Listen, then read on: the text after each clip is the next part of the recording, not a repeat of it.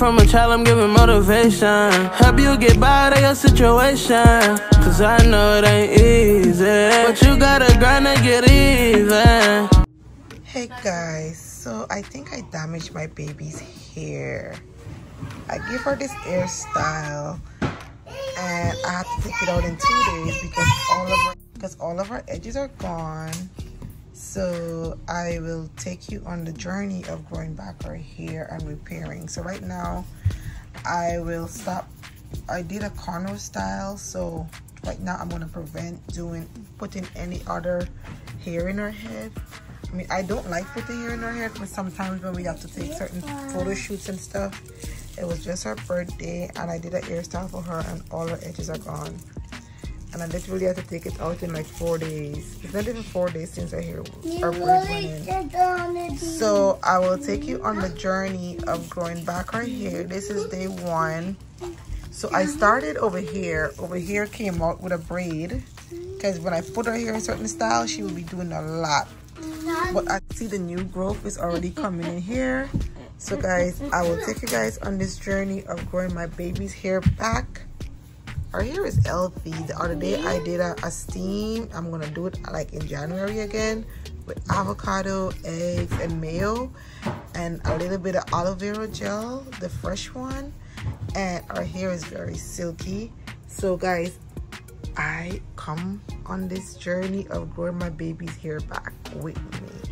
So right now i'm about to style her hair in a protective style. So this is all you'll be seeing from now on. So this is day one.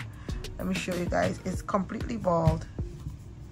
What I'll be using is I have um in this bottle I have um olive oil coconut oil and um what else?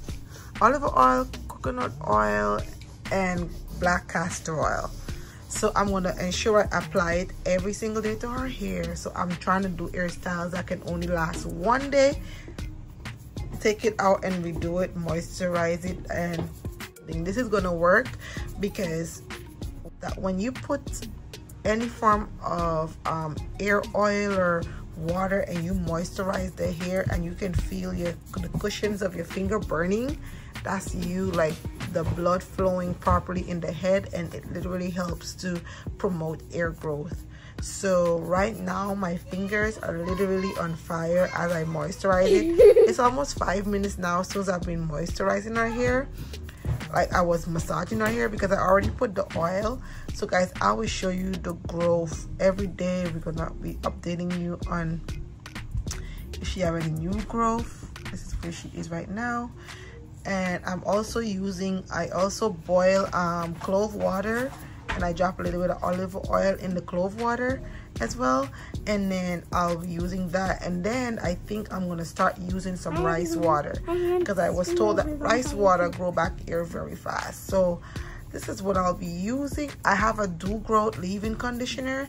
I'll add that in here as well. And yeah it's gonna be black castor oil coconut oil um, and olive oil and then Doo Gro leave-in conditioner rice water and clove water with a little bit of olive oil in the clove water.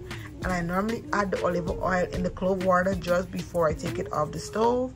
I let it sit and then I fill it up. So sometimes I make three or four bottles of the clove water and then I just put it in a corner. So when my spray bottle is empty I just refill it instead of going full water back again. So guys come with me on this journey to grow my baby edges back. I also cut all my hair off so I will be on that journey of growing my hair back as well. So guys let's see the growth